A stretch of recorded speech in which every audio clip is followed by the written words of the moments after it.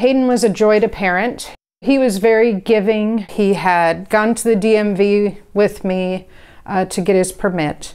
And at the DMV, he asked me if he could see my license. And I said, Yeah, of course. And so I pulled it out. The guy at the DMV counter said, Hey, you know, the D is for donor. And so uh, Hayden said, Oh, I could totally do that. The rocks in the now fuel me um, a lot because I remember for eight, nine years where my life was very dark. I am taking a tragedy and sharing it and bringing back in tenfold what Hayden was all about.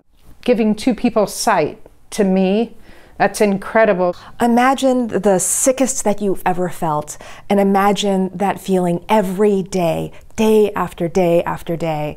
What donation does is it gives people hope that they can restore their health and their lives, return to their friends and family.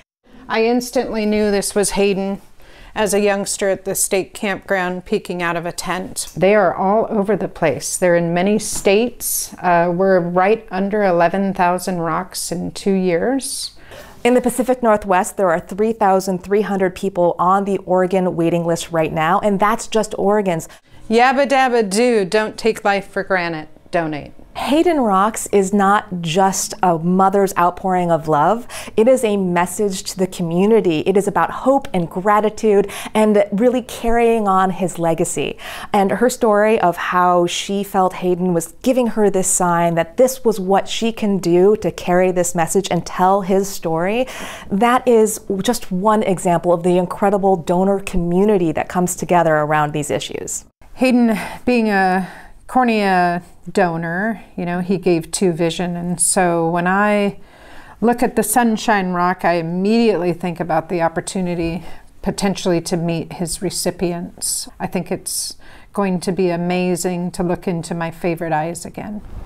The Rock Kindness Houses um, are in honor of Hayden and the time that we got to spend together. Anyone is free to either drive up or walk by and come and take a rock. I don't need to know where they go, they're where they belong.